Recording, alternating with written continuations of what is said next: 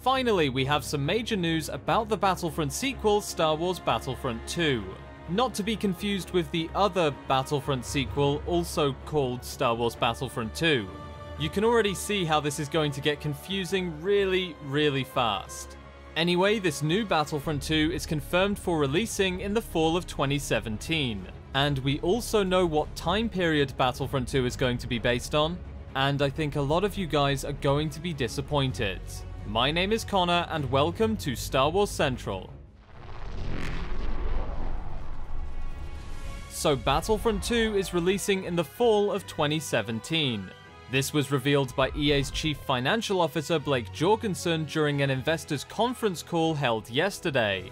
During this call, he confirmed that the Battlefront sequel is coming, and I quote, a year from now. So it's releasing in the fall of 2017. Remember, Star Wars Battlefront released last year on November 17th, 2015.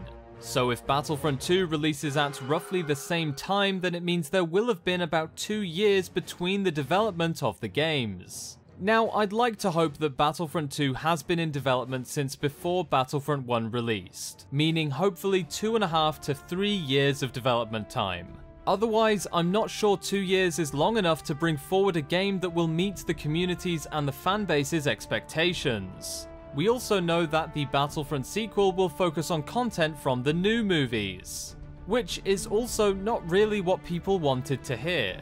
For the most part, the community has wanted and will continue to always want Clone Wars content. And if I'm going to be honest, the newer movies aren't that much different from the current Battlefront we already have. Sure, there are some new weapons, slightly different vehicles, and the only other major point I can say is new heroes. See, this is just one of the reasons I feel they should have focused Battlefront 2 on the Clone Wars. We already know the heroes and villains and prefer them to the heroes from the new movies. Not to mention the weapons, vehicles, even the different types of droids allow for a much, much different style of play. Whereas Battlefront 2 on the newer movies basically means we'll be getting somewhat of the same experience.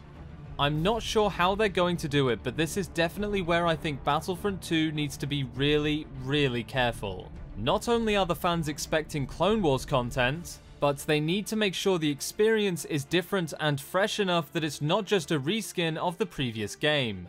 Now, just to clarify here, I am excited about Battlefront 2. I think they will definitely do a good job with it, and we will get some epic content based on the new movies. But that still doesn't stop me from worrying. Anyway, moving on, we have some even better news.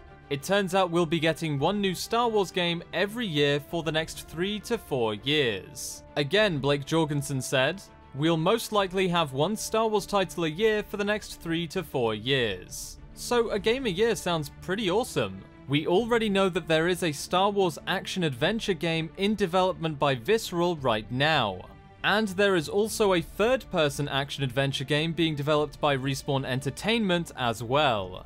So if Star Wars Battlefront 2 releases at the end of 2017, then 2018 must have another Star Wars game and 2019 and so on.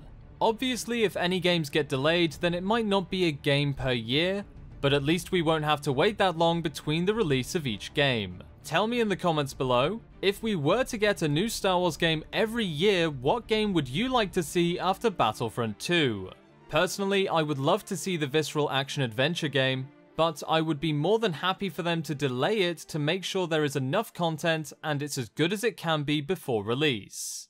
Anyway, that's it for today's quick update. I would have made a longer video, but there really wasn't that much news. Hopefully we get more details about Battlefront 2 in the future, and no doubt we'll be getting a release trailer for the Rogue One Scarif DLC pretty soon. Also, before I end the video, I just want to thank you guys so much for your support recently. The amount of comments on the last video was just insane, and you guys had some pretty epic video ideas.